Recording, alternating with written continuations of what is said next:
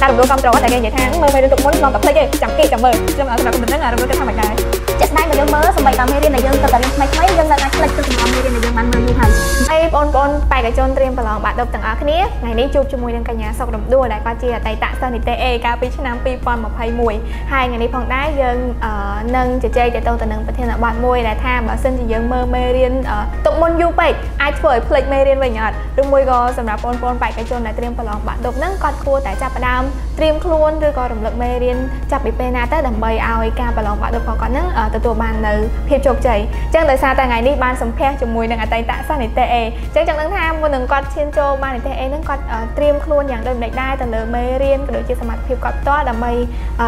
អាចទទួលបានជោគជ័យក៏ដូចជាទទួលបាននីតិល្អសម្រាប់ការប្រឡងបាក់ឌុបហ្នឹងអូខេជំរាបសួរសួស្តីបងប្អូនទាំងអស់គ្នាមួយសារទៀតខ្ញុំឈ្មោះ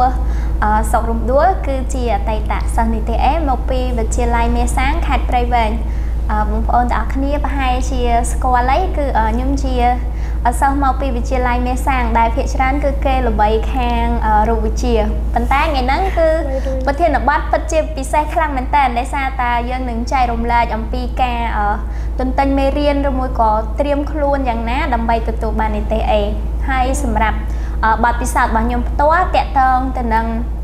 ការមើលមេរៀនសម្រាប់ត្រៀមប្រឡងបាក់ឌុបគឺ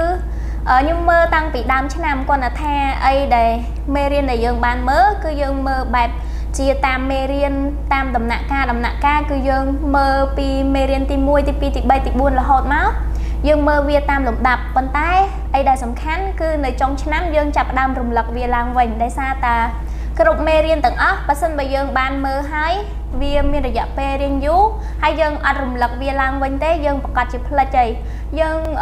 ជាក់ស្ដែងបើយើងមើលសំបីតាមេរៀនដែលយើងទៅតែរៀនថ្មីថ្មីយើងនៅអាចផ្លិចចុះទម្រាំមេរៀនដែលយើងបានមើលយូរហើយអញ្ចឹងបើសិនបើចង់ឲ្យការចងចាំរបស់យើងត្រឡប់មកវិញគឺយើងត្រូវរំលឹកពីដើមរហូតដល់ចប់ អូខេអញ្ចឹងត្រៀមខ្លួនតាំងពីដើមឆ្នាំហើយគ្រាន់តែដល់ពេលដែលគៀកមែនទែននោះគឺយើងកាន់តែខិតខំបន្ថែមទៀតដើម្បីឲ្យទាន់ពេលវេលាហើយនឹងមានសមត្ថភាពគ្រប់គ្រាន់ក្នុងការអាចទៅចូលរួមក្នុងការប្រឡងនឹងបានអញ្ចឹងចំណុចបន្ទាប់ចង់ដឹងថាការរំលោភកម្មត្រតែគេនិយាយថាមើលមេរៀនទុកមុននាំតែភ្លេចទេចាំគៀកចាំមើលសម្រាប់សម្រាប់កំណត់ហ្នឹងរំលោភគេថាមិនដែរ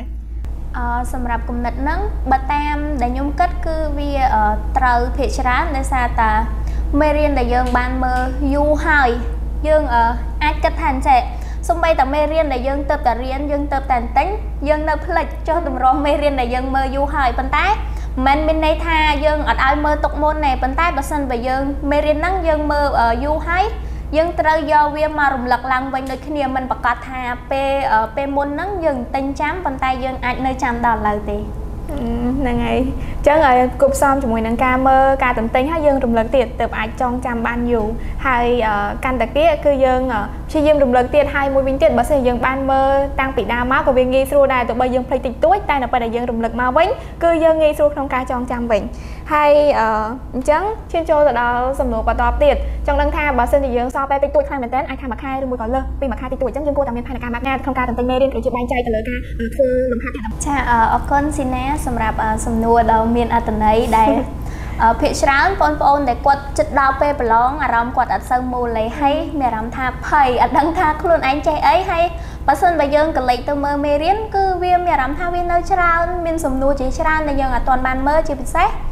ដូចដែលយើងនិយាយខាងដើមអញ្ចឹងមេរៀនដែលយើងបានមើលពីមុនមកគឺយើងចាប់ផ្ដើមផ្លិច អញ្ចឹងយើងក៏កាន់តែមានអារម្មណ៍ថាវល់វល់អត់ដឹងថាត្រូវមើលមេរៀនមុនឬមួយក៏មេរៀនក្រោយអញ្ចឹងដើម្បីយើងបែងចែកពេលវេលាបានល្អគឺយើងត្រូវមានផែនការច្បាស់លាស់ទៅលើការមើលទាំងមេរៀនធ្វើទាំងលំហាត់យើងត្រូវបែងចែកឲ្យដាច់តកតងទៅនឹងការតន្ទិញមេរៀនជាយោបល់របស់ខ្ញុំដោយសារតែខ្ញុំធ្លាប់ឆ្លងកាត់ដែរប៉ុន្តែអត់ដឹងថា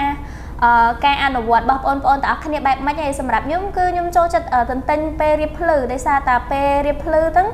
ខួរក្បាលយើងស្រឡះល្អយើងឆាប់មានការចងចាំជាពិសេសបរិយាកាសក៏វាមានអារម្មណ៍ថារៀងស្ងប់ស្ងាត់យើងទន្ទិញមេរៀនទៅក៏ឆាប់ចាំដូចគ្នាហើយសម្រាប់ការធ្វើលំហាត់បងប្អូនភាគច្រើនប្រហែលជានៅរៀនគួរហើយក៏នៅរៀនរត់ដូចគ្នាអញ្ចឹងនៅពេលដែលបងប្អូនទៅសាលាហ្នឹងត្រូវខំធ្វើឲ្យបានច្រើនដើម្បីយើង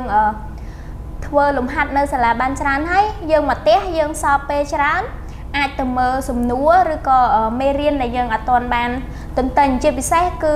សំណួរជីវៈដែលវាច្រើនខ្លាំងមែនតើអញ្ចឹងបើសិនបើនៅសាលាយើងធ្វើលំហាត់បានច្រើនហើយយើងអាចលៃពេលបន្ថែមដើម្បីមើលសំណួរជីវៈដើម្បីយើងមានកាន់តែមានភាពជឿជាក់នៅក្នុងខ្លួនណានៅពេលដែលយើងមើលសំណួរបានច្រើនទៅពេលប្រឡងយើងកាន់តែជឿជាក់លើខ្លួនឯងផងដែរ ហ្នឹងហើយអរគុណរំលឹកខ្លាំងមែនទែនដែលបានចែករំលែកទាក់ទងទៅនឹងផែនការត្រៀមខ្លួនទៅបីជានៅសល់រយៈពេលខ្លីក៏ដោយអញ្ចឹងសម្រាប់បងប្អូនអរគ្នា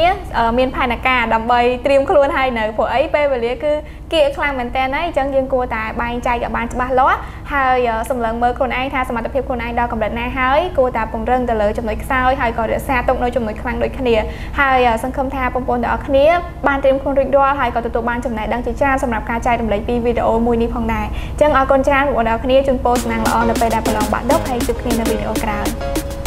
បាយបាយ